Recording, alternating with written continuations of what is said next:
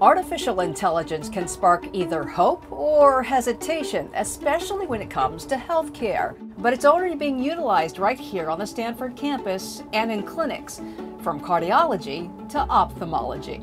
How is AI, the algorithm, used in your clinic? In the past, when most people think about individuals who care for their diabetes, you're thinking about poking your finger and getting a blood drop and putting it on a meter, but that's not the case anymore. Right now, most individuals living with diabetes, they get to have a continuous glucose monitoring and it gives them 288 data points in one day.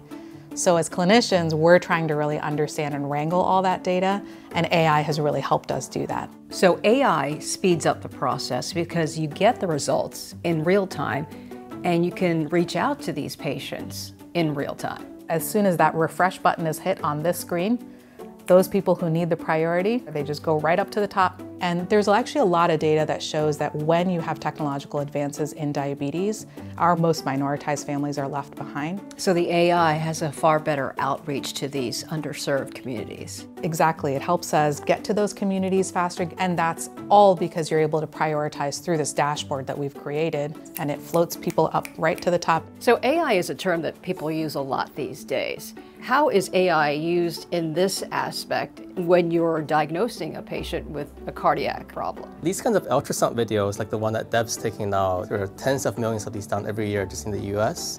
It's a very routine way for doctors to assess how well the patient's heart is functioning, whether they are at risk for stroke or heart failure. Where the AI can come in is that the AI that we develop is a computer vision-based algorithm that can look at these ultrasound videos and then help the doctor to assess what is the condition of the patient's heart.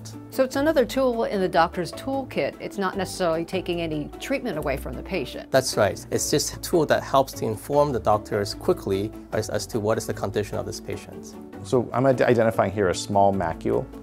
I'm going to take a closer look at it on dermoscopy.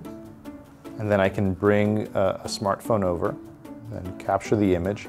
The algorithm will be able to analyze the image in real time and produce an output, whether or not it needs to be biopsied. So it's speeding up the process, in other words. Yeah, and, and automating it as well. So Dave, explain to me how AI is involved in this process of, of screening diabetic patients. It allows patients who are seeing their primary care doctor for their normal health check to get an eye exam for diabetic eye disease while they're here, so they don't have to schedule another appointment. That photograph is immediately interpreted by the AI algorithm. If they're positive, then they're immediately referred for an in-person eye exam. How significant is the use of AI in ophthalmology, especially with diabetes patients? I think one of the largest problems that I see in my daily practice as a retinal physician is that patients with diabetic eye disease present later than we would like to our clinics, often with irreversible vision loss.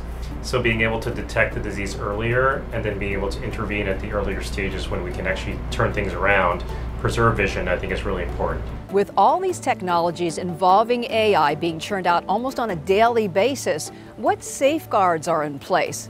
That's where Stanford's Raise Health initiative comes into play.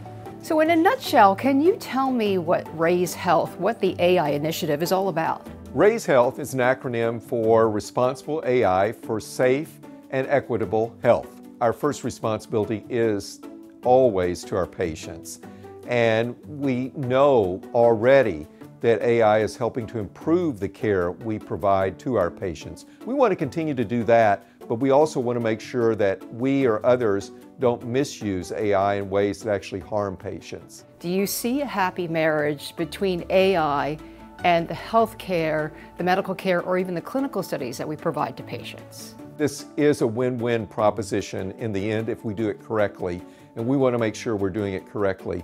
But the opportunity to improve access to care, to improve the delivery of care to underrepresented populations, that opportunity is enormous.